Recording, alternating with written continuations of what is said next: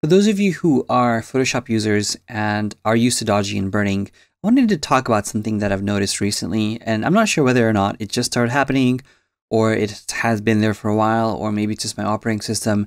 But effectively, the main problem is that the controls themselves in Photoshop are becoming really interesting when it comes to the brush tool. So when I'm dodging and burning, the brush tool itself tends to actually um, disappear in different regions where the colors or the shades are quite neutral.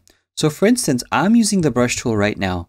And as you can see on my screen, when it's over an area which is light, it'll turn darker. When it's area over which is darker, it'll turn lighter to give you an idea of where the brush is located.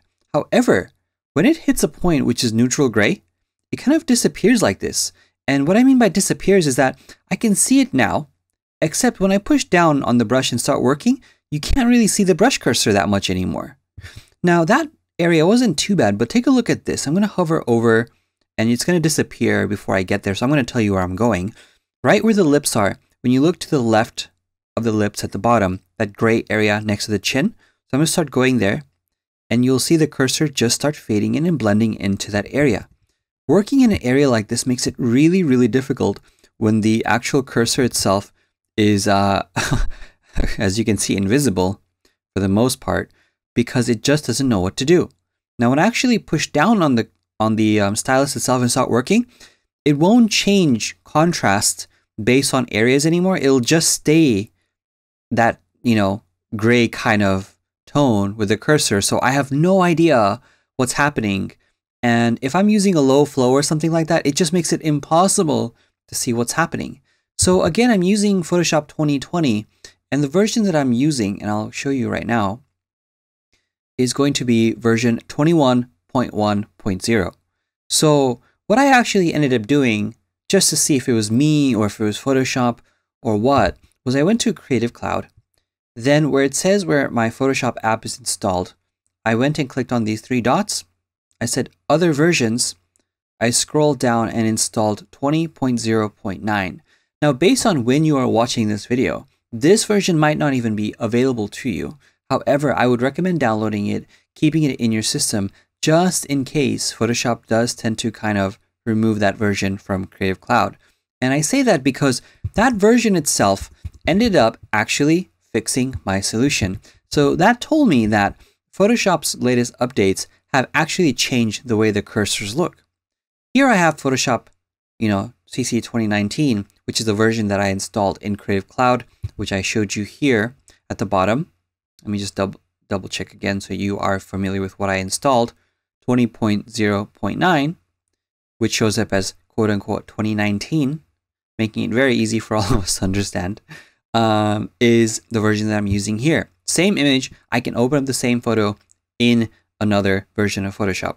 Now I'm using Mac OS X on the latest version of the operating software. And so I wasn't sure whether or not, you know, it's the operating system, it's a version of Photoshop, maybe it's even Windows versus Mac, I'm not entirely sure. But if you have a Mac um, and you're experiencing this problem, then you know you're not alone. If you're having a PC and you by chance are not even having this problem at all, then that's a good thing. Um, so I'm not really sure how the versions vary or the operating systems vary. But now that I'm in 2019 again, take a look. I'm using the same brush tool, okay?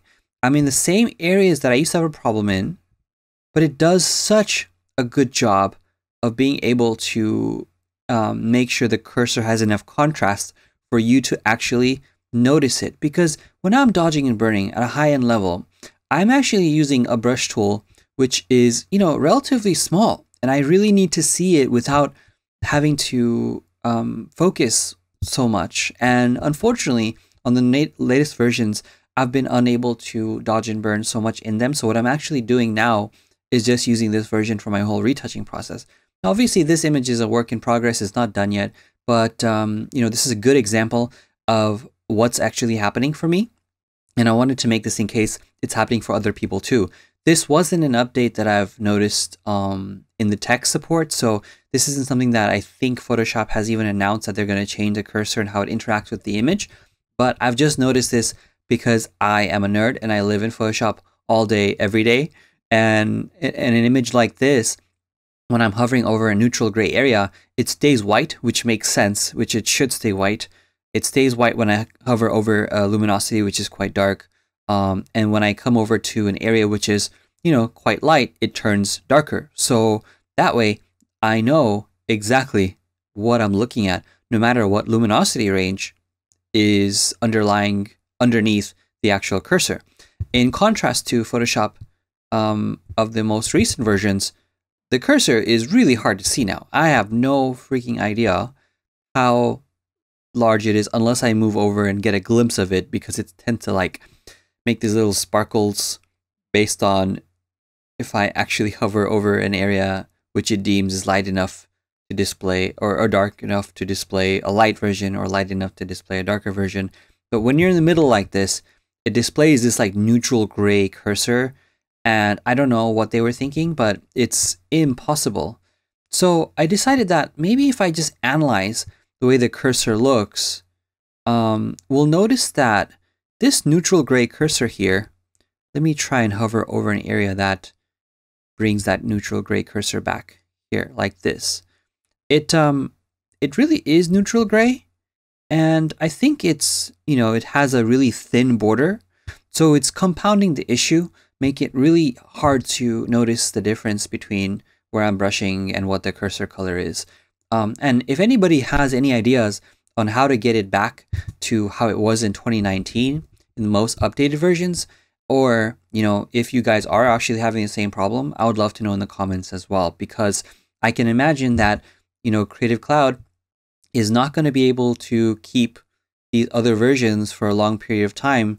And this version here is on the chopping block, which means that any further updates along this list means that the other versions list will get uh, um, chopped off. So this might not be there for long. And if you by chance have Creative Cloud, I would highly recommend to install this version as well because you can keep multiple versions installed on your system, um, which makes it really easy for you to go back on it in case you have a problem like I do.